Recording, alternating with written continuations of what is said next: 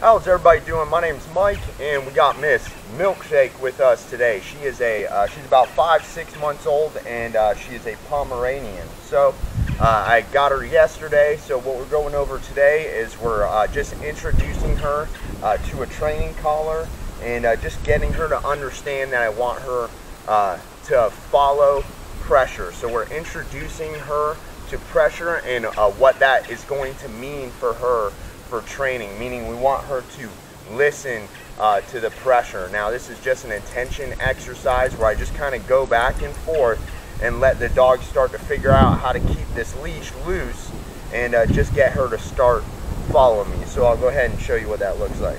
Come here girl, good girl. Good girl, so she's already doing it. She's already not needing pressure. Good girl. Good girl job, girl.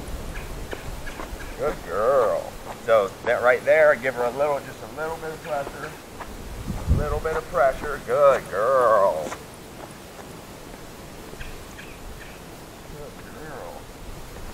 Good. Just a little bit of pressure when I turn there. Good.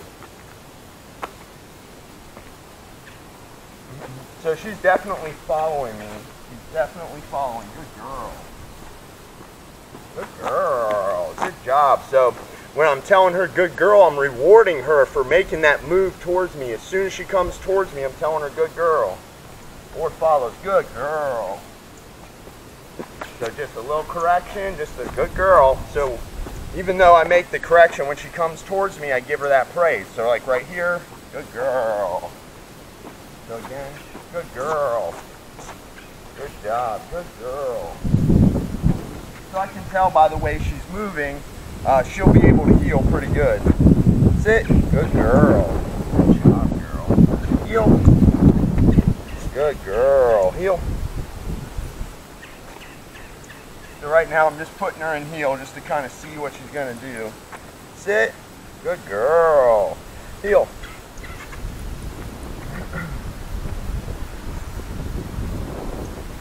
Girl. Remember, the whole point is to keep the leash, sit, is to keep the leash loose. The whole point of teaching her the pressure exercise is for her to understand. I want the leash like this.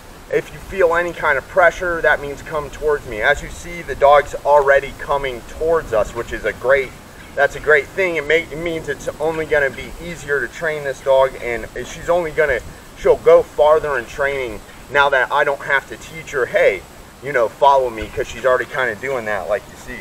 So look at that, good girl. But even though she's following me, good girl. Even though she's following me, it's important that I am rewarding her. We're always either encouraging or discouraging the dog. So when she's doing something like that that I want, I'm always, hey.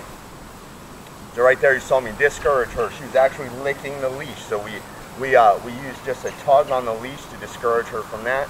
But when she's coming towards me I want to encourage that, I'm saying good girl and positively reinforcing uh, the moves that she's making. Heel. And then I'm just kind of seeing how she's going to do. Sit. Good girl. Good girl. What you're seeing is uh, more of a submissive dog, you know, so she's a little more submissive than probably the average dog I would normally get. Heel. Good girl. So she tries to get in front of me. I'm just to just lift up just a little bit on that leash. Heel. She's so small, she doesn't need hardly any any pressure. Heel. Good girl. So if I go this way, I want her to follow that leash. So I go, there it is. Good girl. Good girl.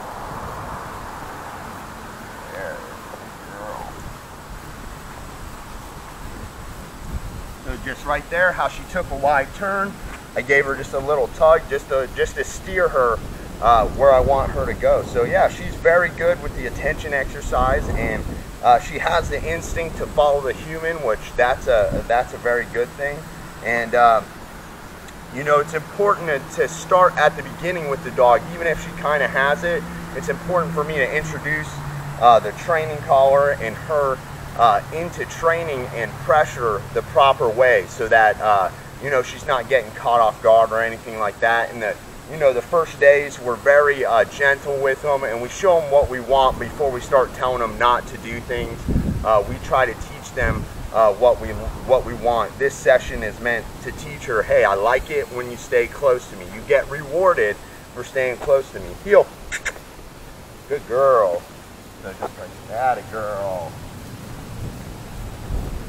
Good girl. Good job.